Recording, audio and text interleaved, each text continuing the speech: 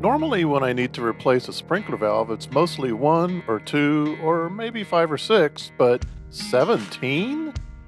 Yep, that's what I did this week on a job, and I'll show you how I did it coming right up.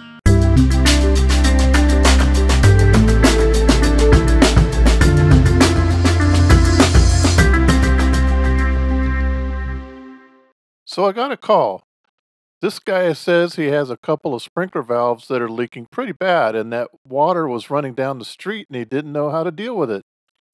When I arrived, I saw 17 Hunter inline sprinkler valves split between four manifolds in these PVC valve boxes.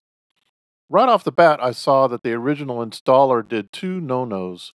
One, he stuffed five valves in two of the valve boxes. That's too many. In these 12 inch boxes, you shouldn't have more than four valves in there because you want to be able to access the screws on all valves so you can take the valves apart in the future as needed. When you have five in there, the left and right valves are under the lip of the box and you can't get at them. The other two boxes had three and four valves respectively. The other thing the installer did that he shouldn't have is he installed the drip tubing under the heavy weed cloth. Now no one knows where the tubing is and you can't inspect the tubing or emitters periodically. The owner had already dealt with some breaks before I arrived and it was tough for him to find and repair the tubing. These valves are installed about 20 years ago and they are Hunter's now obsolete HPV 1 inch valves. You can see the difference here between them. The HPV has these large Phillips screws where the new PGV valve has these hex screws. Another difference is the diaphragm. Here's the HPV diaphragm on the left and the PGV diaphragm on the right. Much simpler design now. I found that almost all of them were either leaking internally or externally. So now I look like Dr. Sprinkler, my stethoscope. So now I'm going to use my stethoscope and listen to the valves in here. So I definitely heard water flowing through number 10 and through number 11. The rest I'm not sure. But here's my take on the whole thing. Most of these are leaking internally or externally. The ones that were leaking internally were allowing water to bleed out to the sprinkler lines, and that was the reason for the water running down the street. Some of them that were leaking externally had been doing so for so many years that they had fibrous roots enveloping them. My MO is to repair what I can when it makes sense. But in this case, with so many gone bad, and the fact that they were an obsolete valve, and you can't technically get parts for them anymore, it only made sense to go ahead and replace them all. Fortunately, the owner was already prepared for that and okay with it. Here's a teachable moment. In most cases, the rule of thumb for me for replacing inline valves is at least one hour per valve at my hourly rate.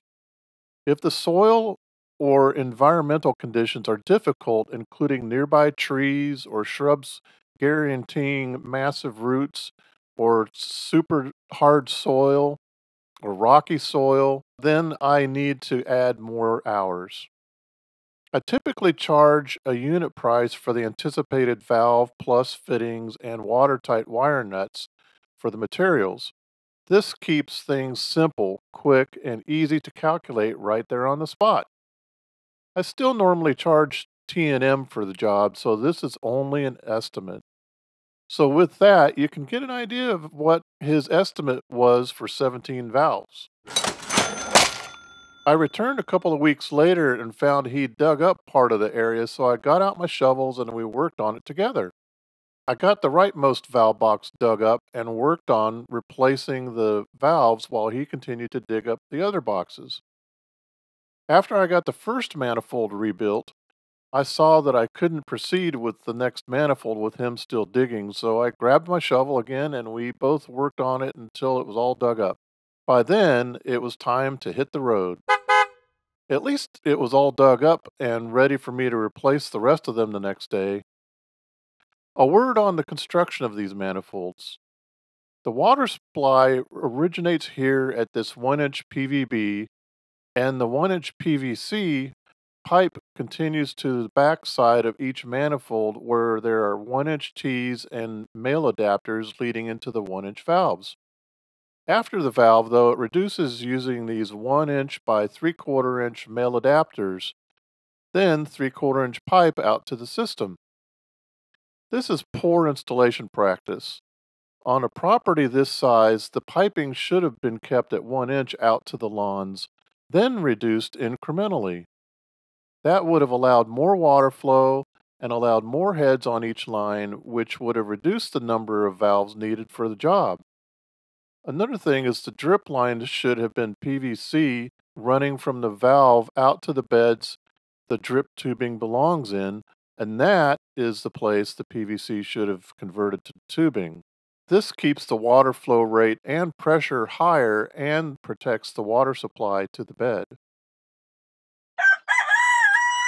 Day 2.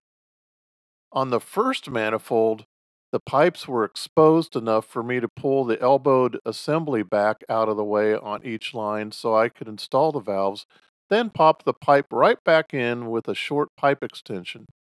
But today that wasn't going to happen, so I went to my supplier on the way to the job site and picked up 10 slip fixes. I normally only stock two or three three quarter inch slip fixes at a time.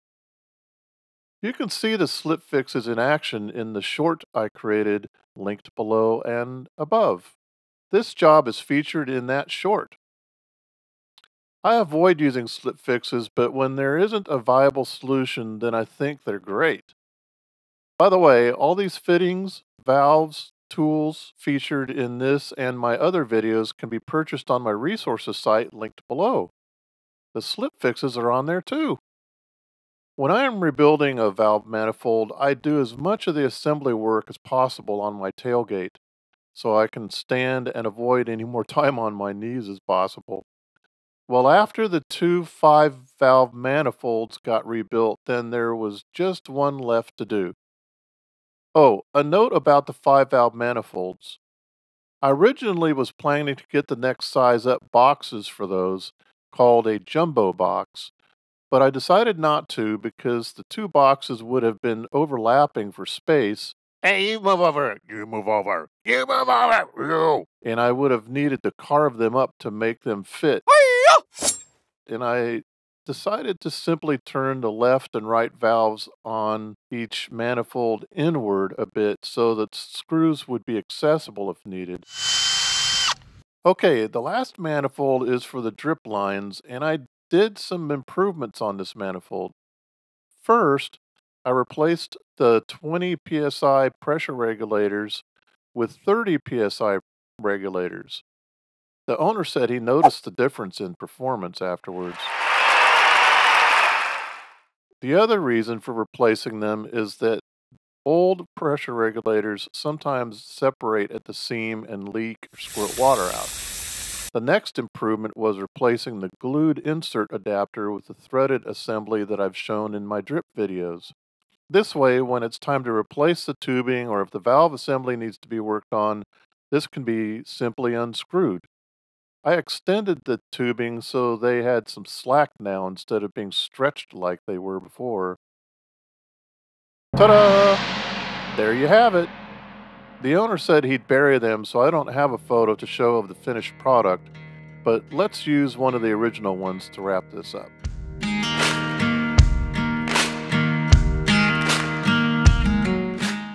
Remember, you can purchase pretty much everything you saw in this video on the resources site. Thank you for your purchases there. I appreciate it very much.